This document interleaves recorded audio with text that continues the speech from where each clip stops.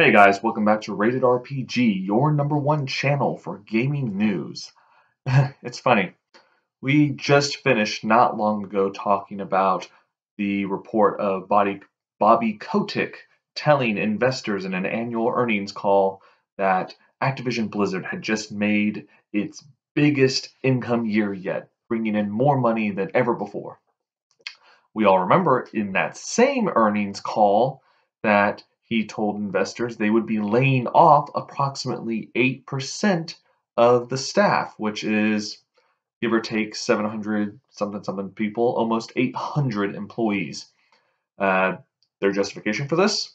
We're just cutting the fat so that we can invest more in our developers.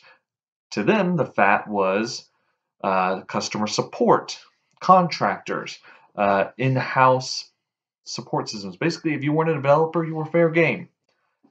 And everyone has just realized the stupidity of this. They're basically shooting themselves in the foot to give them a short term injection now. That's okay, I've just ruined a perfectly good analogy or metaphor, but the point is back when Nintendo was having money troubles, they did not start firing huge swaths of people for a quick infusion of cash in order to tide them over for a few months. No, the CEO of Nintendo did, stepped up and he did a great thing. He cut his own salary in order to pay dividends, in order to keep employees. Meanwhile, Bobby Kotick is like, nah, let's get rid of these guys.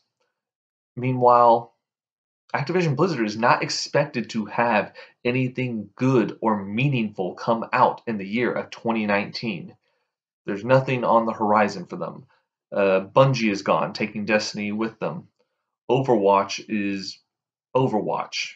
There's nothing really new there. World of Warcraft has got what? World of Warcraft Classic? I'm pretty sure Activision Blizzard has come to realize just how stupid this decision to fire these 800 employees is because it's March 2nd now as of the recording of this video.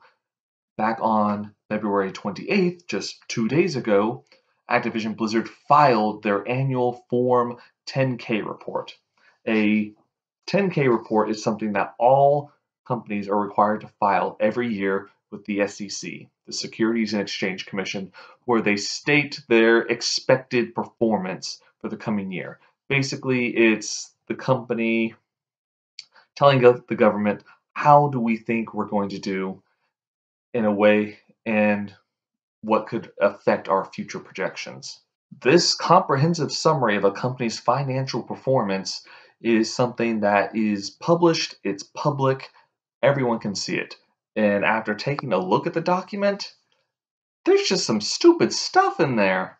I mean, they are constantly quoting throughout the thing that uh, these layoffs that we've just done could negatively impact our business that if we do not consistently deliver popular high quality content in a timely manner, or if consumers prefer competing products, our business may be negatively impacted. That basically sounds like they're stating the obvious. I mean, really. Uh, I didn't take the time to actually count how many times the words negatively impact came up in the document. I read it through but didn't actually count that. Thankfully, PC Gamer did it for me. The term negatively impact happens 48 times in the document. And it's just hilarious that they really need to think about it and put it and actually put it in a government document. Oh yeah, well it turns out that uh, firing all those people it's not going to do well for us in the long run. Who knew? Everybody, everybody knew. In an effort to impress investors, you damaged your company long term. I mean, who in the right mind is going to want to work at Activision Blizzard now? Uh, someone who is going to have to worry about long term stability for them and their family. I'm sure many of the folks working at Activision Blizzard may have potentially relocated for their jobs. I mean, it it's not just customer service people that you hire off the street. It may have also been community managers. It may have also been uh, mid-range office managers. Those are positions that people have to interview for and sometimes relocate for. You don't just move across the country if you're a developer moving to uh, BioWare Montreal or BioWare Edmonton, yada yada yada, and it's oh my gosh, big, uh, big demand for my services. No, even office managers is something that's a desirable.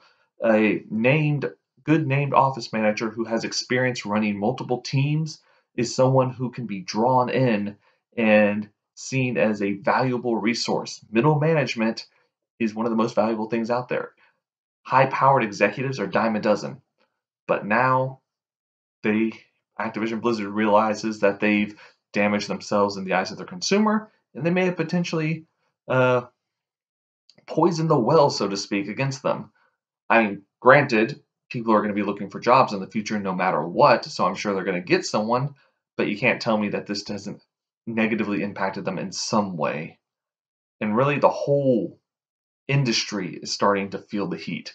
I mean, ArenaNet laying off people, EA laying off people, all because of bad business practices. So I just found it interesting that Activision Blizzard is self conscious and self aware and knows that their decisions could negatively impact their business, but they're willing to do it anyway because a blip in their future earnings is nothing compared to the confidence they get from showing off for their investors. I don't think that's good business. So thanks for tuning in to Rated RPG, guys. Thanks for listening. If you liked what you heard, please make sure to like this video and subscribe to the channel. If you don't like what you heard, subscribe anyway. That way you can get my video updates whenever I post and you can rant at me all you want in the comments. I appreciate it. I appreciate you. We are currently at 96 subscribers, almost to that one that big milestone, that big 100. So I'm looking forward to reaching it, and I'm looking forward to working together with you all in the future. Thank y'all very much. Have a good night, y'all. Hey there, thanks for watching. If you liked the video, please like and subscribe. And don't forget to hit that bell icon so you can get all the latest gaming news from Rated RPG.